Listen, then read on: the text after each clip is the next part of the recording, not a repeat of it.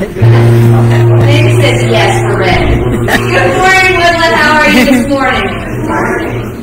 So there's just a few announcements. If you are aware of a student um, graduating, if you'll let us know, you'll contact the office to let us know so we can make sure we reach out to the families. We never want to miss anybody, and so we want to make sure we have them on the list.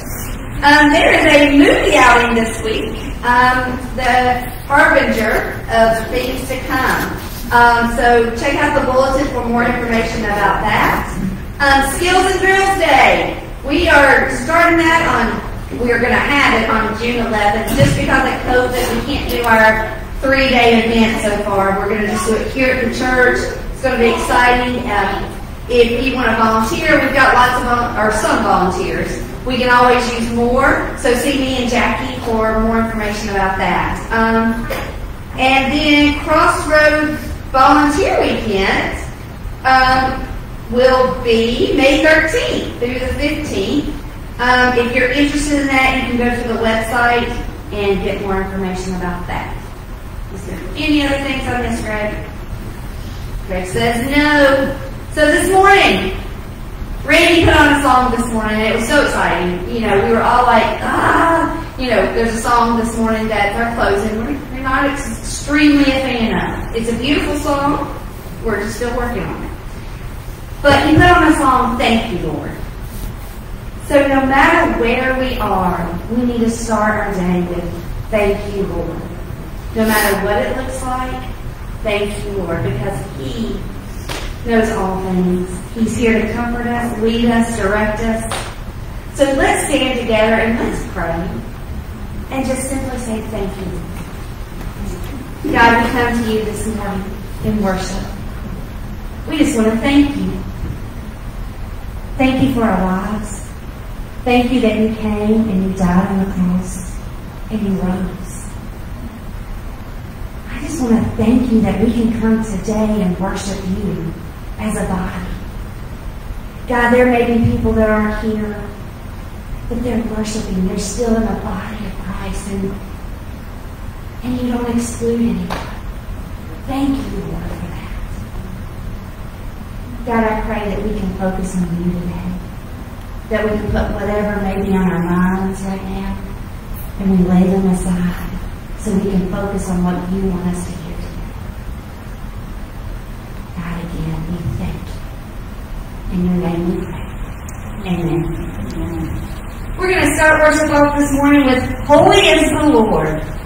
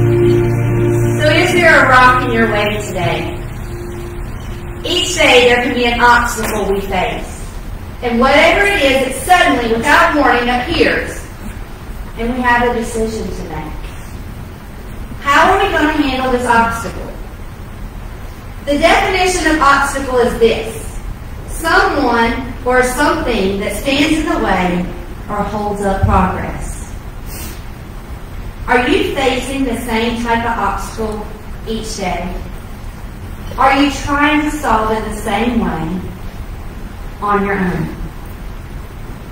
Today, Greg in the sermon is going to be talking about Moses and an obstacle that he faced. But today, I'm going to share about Peter. You know, Peter denied Jesus, basically betraying him. You know, he realized he failed. And he tried to go back to life. He tried to do the same thing, try to live the same way he always had, trying to go back to normal. But Jesus had something better for Peter. Jesus knew that when Peter just accepted that he made a mistake and he could overcome it, he repented. He didn't let that mistake define him, control him, overcome him. He gave it to Jesus. He said, I'm sorry. I love you, Jesus. Peter knew he was a disciple of Jesus. He and that he made a mistake.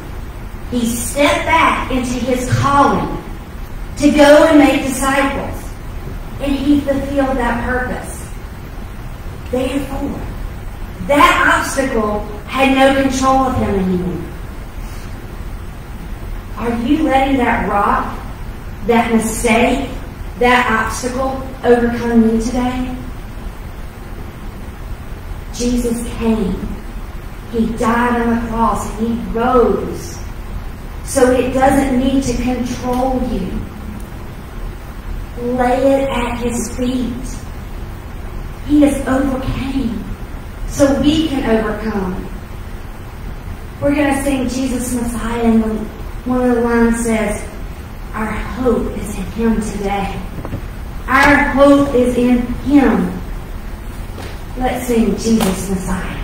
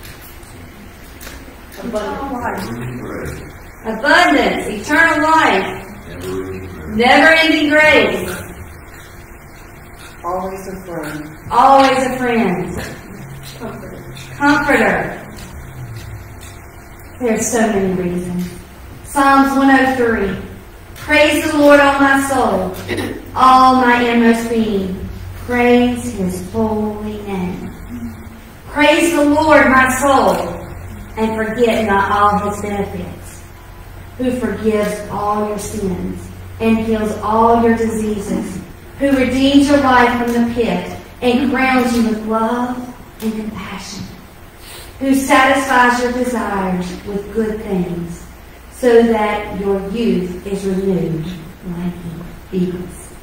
Let's sing 10,000 verses. Thank you.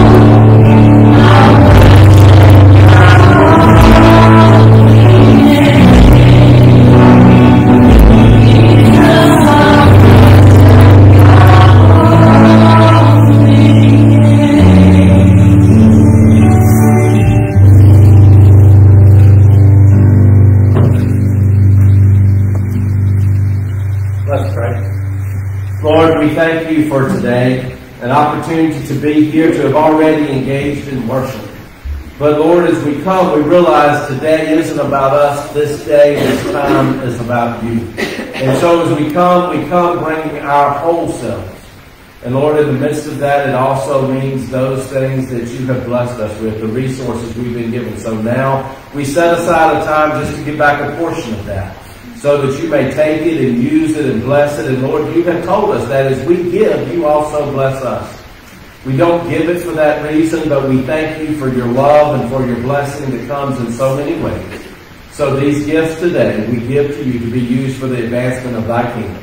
In Jesus' name we pray. Amen.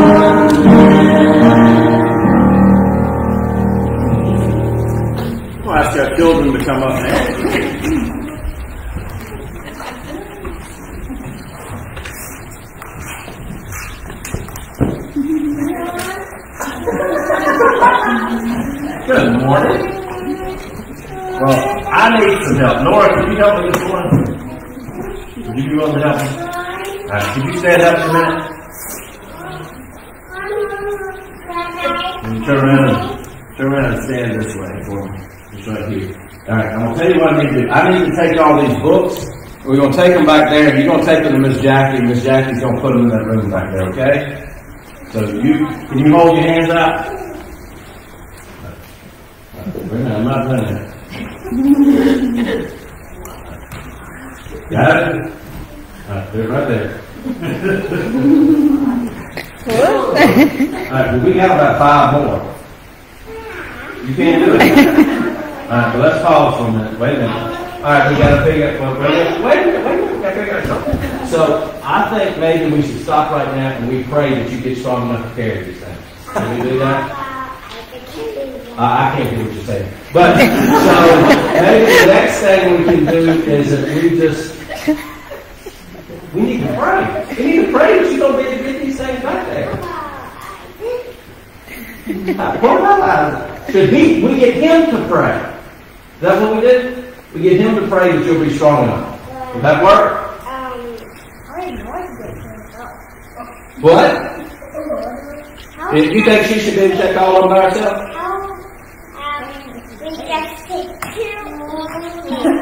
Just take two each, but I need to get them all back at one time. It'd take too long if we did two in each hand. So what are we gonna do? What, what do you think, Isaac?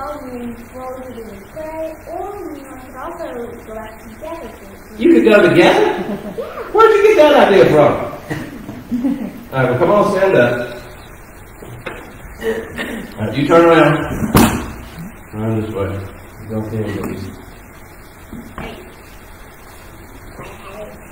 Yeah, Can you take one more, or is that enough? That's enough. You know what? You know what? I said you don't carry some, I think I'm gonna carry some too. Is that okay? All right, let's take them back. We'll set them down here beside Miss Jackie, and she'll see if she can get some help getting them back to the room. Okay? Let's just set them right here. All right. That's yours there too, Nora. It is. Well, let's go back up here and talk about this that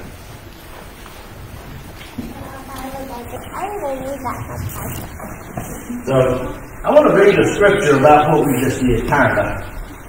This says, Then the king will say to those on his right, Come, you who are blessed by my Father, take your inheritance, the kingdom prepared for you since the creation of the world. For I was hungry, and you gave me something to eat. I was thirsty, and you gave me something to drink. I was a stranger, and you invited me in. I needed clothes and you clothed me. I was sick and you looked after me. I was in prison and you visited me. The righteous will answer him. Lord, when did we see you hungry and feed you, or thirsty and give you something to drink? When did we see you a stranger and invite you in, or needing clothes and clothe you?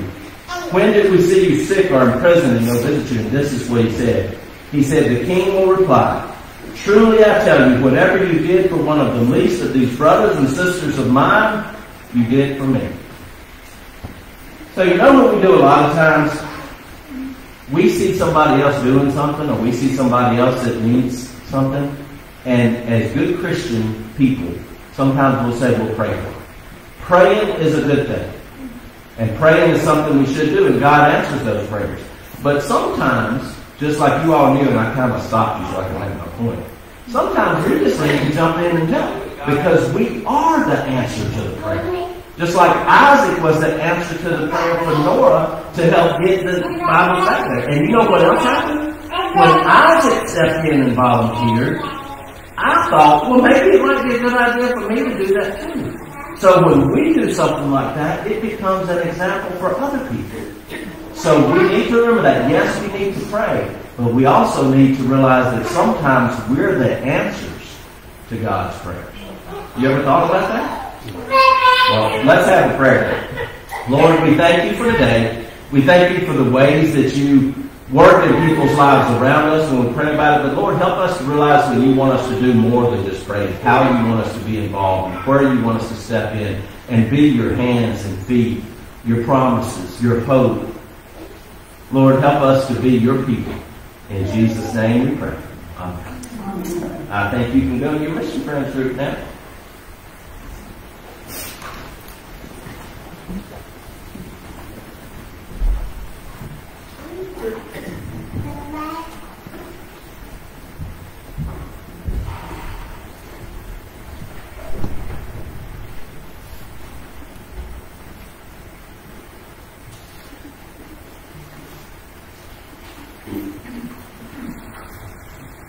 Our scripture reading this morning will come from Exodus chapter 3, verses 4 through 10.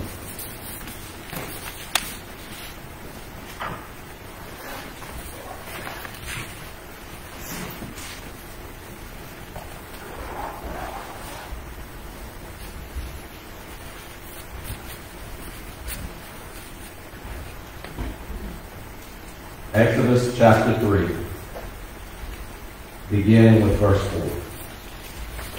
When the Lord saw that he had gone over to look, God called out to him from within the bush, Moses, Moses. And Moses said, Here I am. Do not come any closer, God said. Take off your sandals, for the place where you're standing is holy ground. Then he said, I am the God of your father, the God of Abraham, the God of Isaac, and the God of Jacob.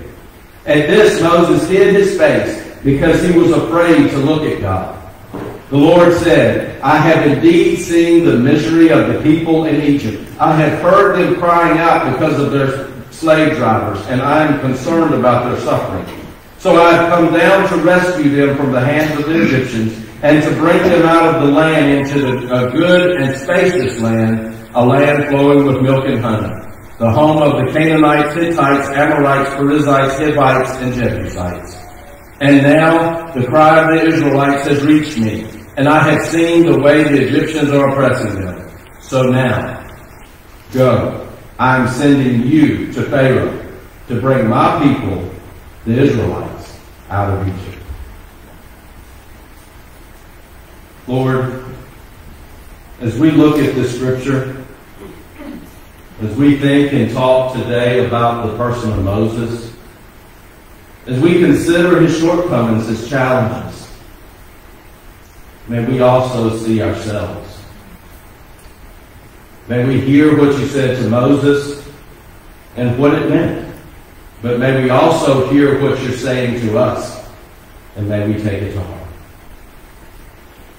This prayer we ask in Jesus' name. Amen. So, this is a fairly familiar story in the Bible. You may have heard most of it, but I want to bring up some things that maybe we haven't spent a whole lot of time reflecting on. In verse 4, it says, When the Lord saw that he had gone over to the bush, God called him from within the bush, Moses, Moses. God was seeking to get Moses' attention. Did you know that God seeks us? Do you know that God wants your attention? I've often said this, and you've heard it in many different ways. Jesus loves you. Jesus doesn't just love you. Jesus is crazy in love with you. God loves you so much. And because of being that type of God, that type of God doesn't just sit back and wait for you. That type of God desires something special for you. That type of God pursues you. That type of God is seeking your attention.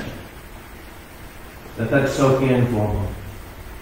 God, the creator of the universe, the Savior, the Lord, is seeking your attention.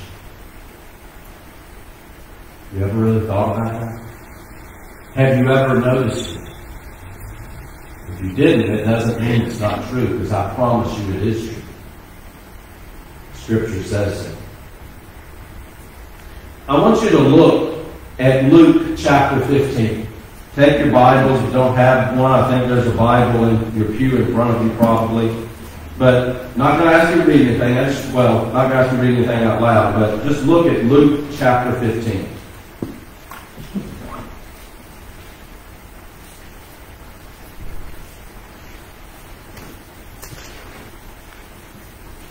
Well, I said I wasn't going to ask you to read anything. I'm going to ask for a volunteer.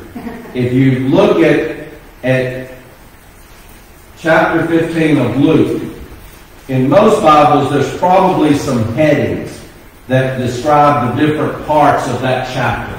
Can anybody tell me what three basic things might be being talked about in this chapter? Can you see the headings and see what they are? Who's lost? Things lost. What's the first thing? The lost sheep. What's the second thing? The lost coin. And what's the third thing? Son. Son. I'm not going to take time to read or go through that this morning, but I want you to understand, I want you to know the reason these parables are here is because it's talking about how important the lost are to God. And lost is being, being lost means anyone that is not in relationship with God. Anyone that does not know God as Lord and Savior. Anyone who is not connected to God. And these three stories, one after another, point out how important those things are to God, which points out how important we are to God. Whether we feel we are or not, whether we feel connected or not, whether we feel close or not. This is just one example. It's over and over and over in the scripture that God pursues us. So let's think a little practically. If God pursues us, how does that really happen? What does it really look like? First of all, we just had the example. I believe in Scripture. I believe if we read and pay attention to Scripture, we can see there. And I believe through the Holy Spirit, we have a sense that God desires us. I also believe this happens through other people. My guess is the majority of us here have experienced that where we've been around other people, other people that are believers, and somehow or another in the conversations, in the interactions, in the things that we just do together, there's a sense that God is there in the midst and God desires to be a part of what's happening. Have you ever been there? Have you ever done that? That you're just doing something and it, and it starts off, maybe it's just like you're having fun. Maybe you're just doing something together that friends do together. But in the midst of that, it becomes more than that. And when it's all said and done, There was so much more that took place than what you thought it was going to be. And you recognize that God was there all along. And you allowed God to pursue you and respond.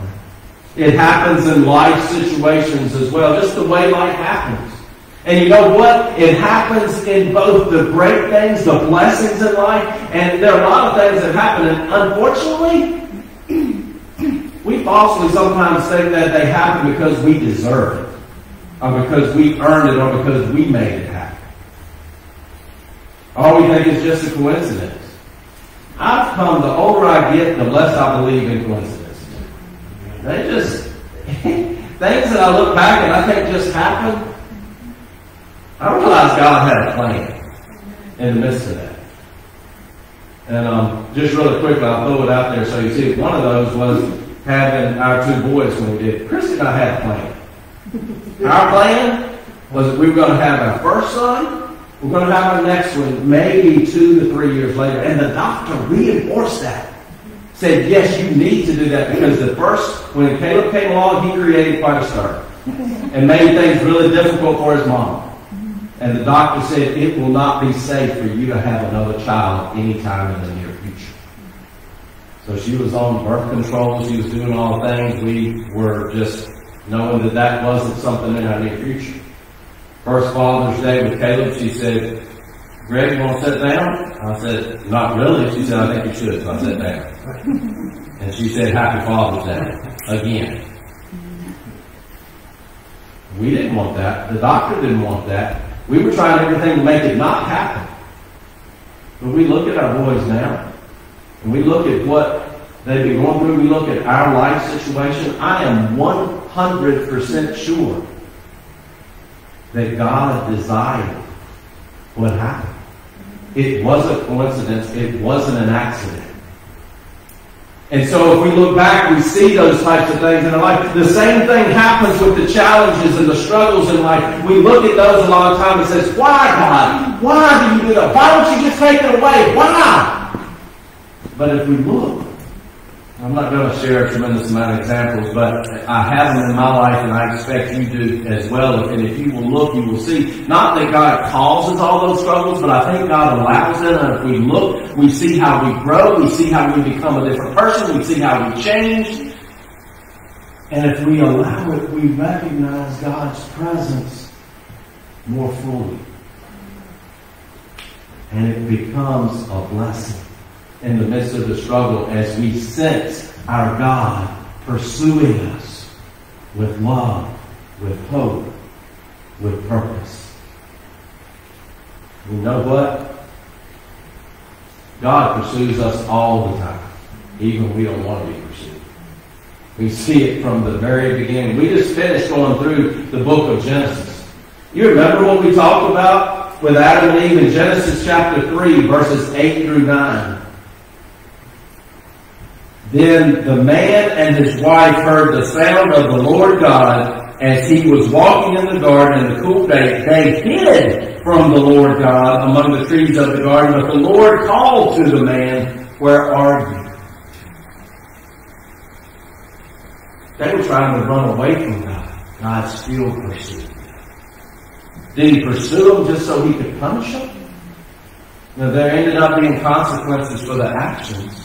And it usually often, quite often is with us too. But the reason God was pursuing Adam and Eve is because He loved them and cared for them and did not want separation from them. And so there are times when, for whatever reason, we may be running away from God, but I promise you, God isn't far behind. Because God doesn't give up on us. Even though sometimes we may think He should or we think he has, because if we were in God's place, we would have given up on us. But God doesn't give up. But you know what? It's the lost coin, the lost sheep, the lost son, and we talk about how those become found. But if you really look at it, it's not just about being found. God doesn't want to just find you. God wants a relationship with you. Recognize the difference. Because there are a lot of churches that treat salvation just like being found and leave the relationship part out. You get what I'm saying? It's this thing where where you talk a lot about Jesus stuff, you talk about him dying on the cross and raising from the dead, you did that for us, you come, you make a decision, you say God's the most important thing in life, you get drunk in the morning, you get wet, you come back up, and then it's done. You've been found. Yes, that's true. But it doesn't stop there. And if we think it does, we're mistaken. If we as believers stop helping others at that point, we are failing them as believers. God calls us. Look at the Great Commission. What does it say to do? Does it say come baptize them, let them go and go baptize somebody else? Teach them those things that I have taught you. And through the midst of that, we learn and we grow in relationship and we become closer to God each and every day. Another word for that is discipleship. And as we become disciple and we grow in that love relationship with others, then we want to introduce God to others because He's so special and so good to us, and we begin to understand how much He loves other people, and we want them to know that too because we want them to experience it as well. So it's not just being found and the game's over. About building a relationship from now through eternity. God pursues us. God was pursuing Moses. Now, I spent a lot of time on that one verse, but I want you to know that. I want you to feel that. If you haven't already felt it and experienced it, you need to know it today because it's happening. If you've never accepted Jesus Christ as your Lord and Savior, God desires you to do that today. And that's the, the initial pursuit. And I'd love to talk to you more about that if that's a place that you find yourself. But let's look at something else. It mentions, and, and as I read this, I never really dove deeply into it, but, but the word holy ground. What does it mean that Moses was on holy ground? If you go back, if we were able to go back to that place, it was, was there something special about the dirt that was there? Is there something special about that particular place? Is it, is it that was just the most sacred, holy place in that whole area? No.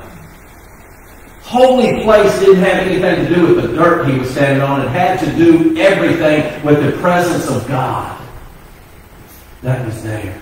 And when you understand that, we understand that we also stand on holy ground at different times in our life.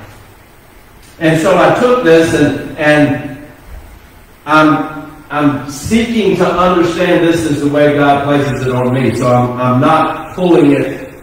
Um, I'm using the example of Moses as I understand. The first of those is I see Moses as being humble. There was a sense of humility. God asked him to take his shoes off. That was a, a initial message that something big is happening. But then Moses recognized who God was, that God was bigger than him, that God was almighty. And in the midst of that, Moses hid his face. There was a sense of a reverence for God. When we come to a holy place, when we're encountering this type of experience with God, there's almost an overwhelming.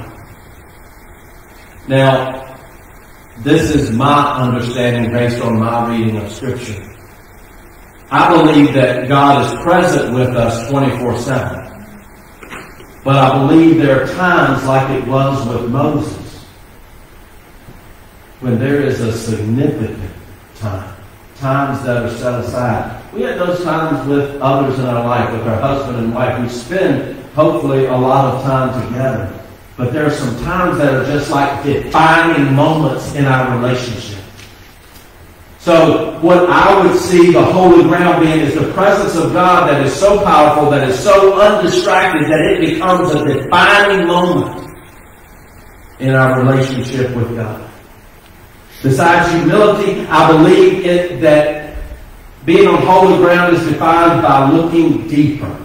I believe we've reached a point in our life that we recognize that there is more to life than what we are at that moment. And maybe we've been going well through life, but we realize there needs to be more. And so we're open to that in a way we haven't before. We allow God to speak into that, and something begins to happen. And as that something begins to happen, there's a time of transition. Another way of describing transition, I believe, is transformation, that something actually changes. And there's lots of different ways we change. We could change direction. So, when we're talking about being on holy ground and this type of thing happening, it, the change could be a change in direction. The change may be more about a change in our spirit. But there's change. And when you have this type of experience, and I believe many of you know what I'm talking about because as I talk about it, you understand it already that you've been there. It is scary, amazing, and wonderful. Those words don't usually go together, but when you have a holy ground type of moment with God, it is scary, amazing. That's kind of unique in the world we live in. Scary, amazing, and wonderful all at the same time. And so when you have this type of experience, it is not unusual that it's pretty quickly followed up on by a calling. Similar to what happens with Moses right here. We are created for a purpose, for a kingdom purpose. There are times I've had this in my life, and my guess is you have too, where we just get up, we go to work, we get a paycheck, we come home and eat. We go to bed. We get up the next morning and repeat. And it just feels like that's a cycle. It's not bad. Not anything exceptionally good. It's just life. And that's what we do. You know what? That's not living out your calling. That's not a calling from God. Is to put it on autopilot and hit I promise. God has a calling for each one of us. And I believe that those holy ground moments, are a lot of times that those callings get defined or redefined. Callings, genuine callings can change. I believe callings most often coincide with our giftedness. They most often coincide with the situation that we're in. But I also believe that in order to answer those callings in the way they must be answered, the way God desires, we don't rely on our giftedness. We don't rely on our situation, but we rely on God's power. So yes, I think there's a sense in which it's just not random. God's not going to call me tomorrow to be a professional singer. It's not going to happen. God did not put that giftedness in my wheelhouse. But He gave me other gifts. So I want you to understand calling is a part of who we are expected to be and there was a calling that was placed on Moses. And that calling was pretty big. He was supposed to lead the people, to lead God's people out of bondage. Now think about that. That's a pretty big deal. God comes to Moses and says, I've heard all this, and Moses probably going along and said, Yeah, I know about all this too. I'm a part of it. I've, I've been there. Said, but you're going to take the people out for me. And Moses says, Say what? And then Moses starts talking. Moses starts giving excuses. His first excuse was, I'm not good enough. Exodus 3.11. Who am I that I should go to Pharaoh, that I should bring the children out of Egypt? I ain't good enough to do that. And then, then he says, I ain't got all the answers. Moses, he said to God, Indeed, when I come to the children of Israel, say to them, To the God of your fathers, has sent me to you, they will say, What is his name? And what shall I say to them? Some of you in your small groups are going to talk about that. But God helped Moses to come to better terms with understanding for Moses himself who God really was to him. So that he would have an answer. God responded twice. Moses keeps going. The people won't believe me. Because he said in Exodus 4 1, but suppose they will not believe me or listen to my voice. Suppose they say, the Lord has not appeared to you. You ever thought God wanted you to do something and you're like, uh uh it ain't gonna happen, it ain't gonna work. I ain't got that relationship with them people. God, you picked the wrong person. And we say that because we're not willing to get vulnerable. We're not willing, after, first of all, God said, Moses, you gotta come to, into terms and recognize who I really am for yourself. And then God said, then I want you to go and share my name as you understand it with others. And Moses has said, I'm just not sure they'll get it. And besides that, I think there's a little bit of him said, I don't want rejection. I don't want to make him fun of. I don't want him saying, you don't know what you're talking about. Because he doesn't have the background. He hasn't already had the relationship. He can't know how they're going to respond. To him, it doesn't make sense that they would just all of a sudden agree. And he doesn't feel comfortable with that, so he tells them. Then, God responds to that too, and I encourage you to take time to look at all of that scripture in Exodus chapter 3 and 4. We don't have time to read all of it today, but I'm just keeping up with the excuses because there's a reason for that. The, the next excuse, which if you're counting is number 4, he says, I'm not a good speaker. The Lord, Moses said to the Lord, Oh Lord, I'm not eloquent, neither before nor since you have spoken to your servant, but I am slow of speech and slow of tongue. God, I can't talk. You're asking me to go and be this and do it. They ain't going to understand what I say. I can't do it. I want you to look close at the scripture there. God said, Who enables words to come out of the mouth? Who controls that? Moses, pay attention. Another thing I think we see there is a lot of times we don't think we can be used because there's something wrong with us. Look back through Scripture. Look back through history. Look today. God uses broken vessels in the most magnificent ways to accomplish His. Rarely are the greatest things for the kingdom accomplished by someone who has their act completely together. One thing, very few of us are there. The other thing, if you really pay attention, because those people have, like Moses was asked to be, they become vulnerable, and you can see how God uses their shortcomings, and the reason for that is because God wants us to be examples for each other. But Moses isn't done. He's got one more.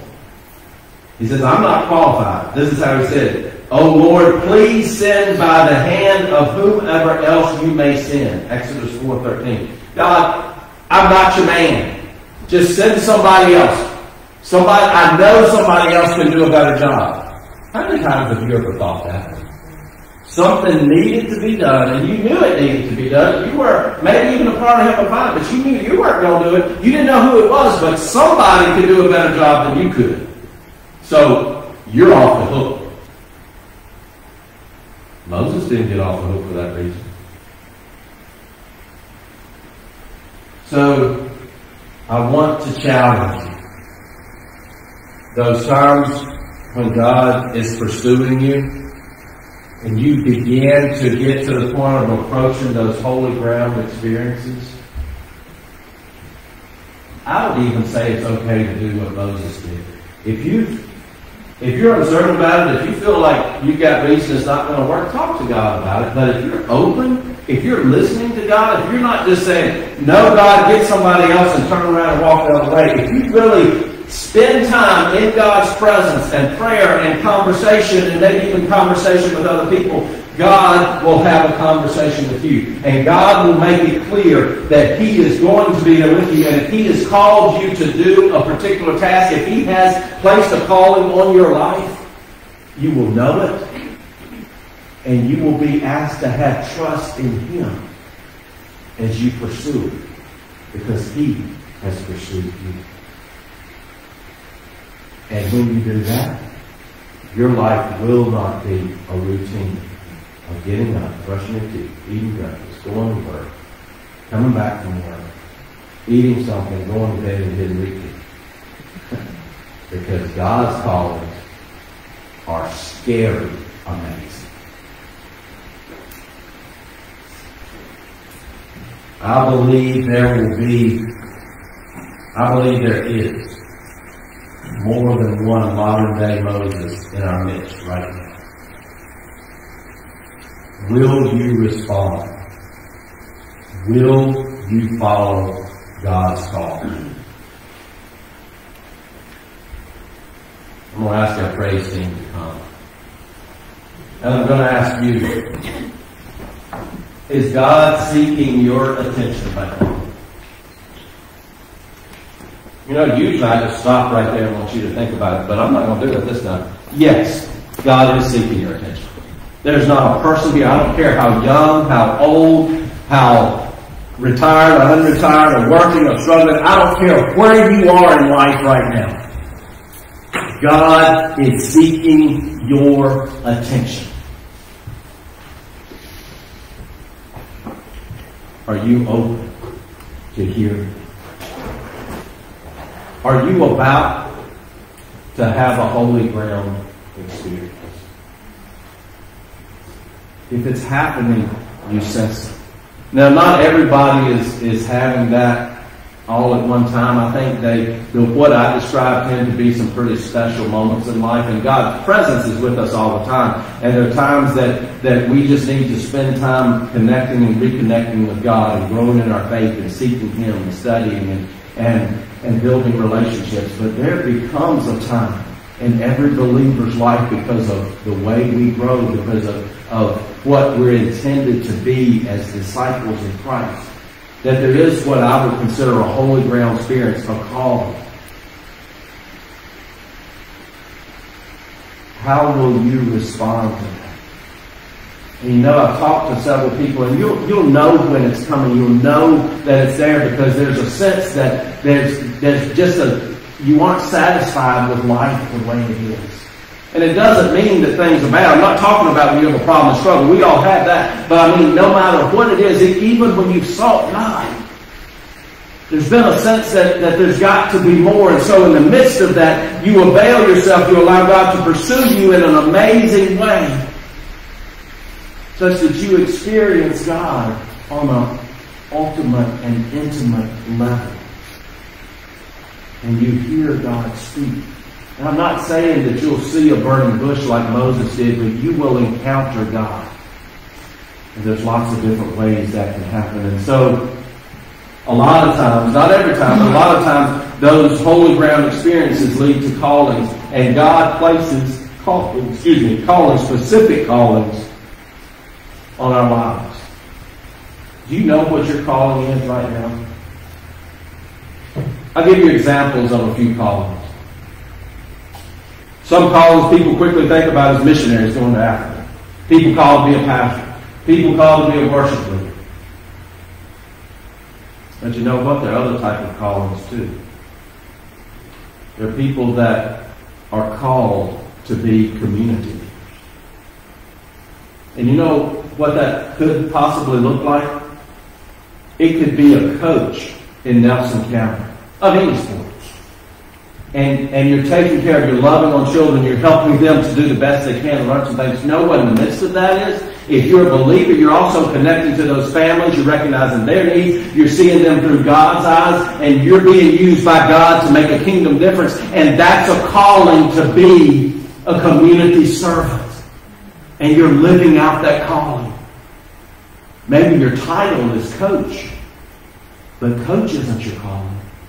being a community servant in a specific way is. Then let me tell you another calling of someone that was called into my life. It was a lady that was called to minister to young couples. You know what she did? I've told some of you this before. She came to Christy and I shortly after Noah was born, I guess, because she saw a big handful he was going to get. And said, you know what? You two need time together. I know you hang out. I know y'all all love each other and stuff. But y'all need time together, just the two of you. And so I'm going to take your children once a month so you can go and have a date. That sounded good. Sounded cool. So we decided to do it. We did it. Came back. Thought everything was going to be okay. About a month went by and she called us and said, Greg, Christy, it's time for your date again. Which day you want to do it? She did that, was it two years? Two years straight. Rarely missed a month. That was her calling. Her calling has impacted me in such a way that I'm a different person. We are a different family than what we would be standing before you right now. That's a calling. One last one. A calling, again, kind of along that community servant type of thing, but really helping bring smiles to people's faces and realizing that there's joy and, and God can use you in that way. You know one of the tools and a way God could do that? With a trash truck driver. Really? God can use a trash truck driver? Shouldn't they be aspiring to do something bigger and better than that? You know what I've seen? And I don't know his name. I'm not sure if he's a Christian or not, but the trash truck driver that comes by here every Wednesday morning and picks up the trash from this dumpster right here at our church.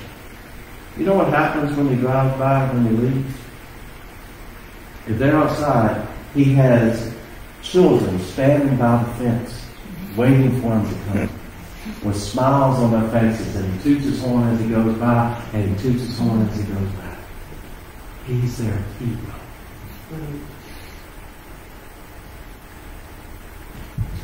If we are being who God calls us to be, we make a kingdom difference.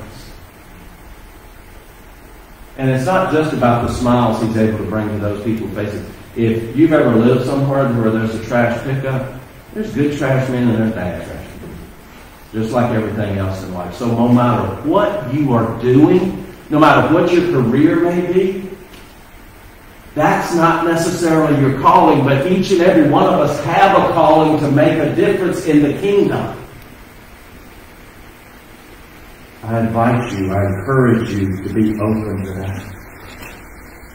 The last thing is, quit making excuses. Now, like I said, if you're really struggling with things and you just don't think you can do it, you can make it, talk to God about it. Say, God, you need to show me. I need to see the strength. Maybe you need to bring my Aaron along. Maybe I need to trust you in, in baby steps, and then if you're open, I think God's going to open your eyes and you're going to see them. Maybe there are other people that help lead you along. But be open to God's call. Let's stand together. Respond as God will lead.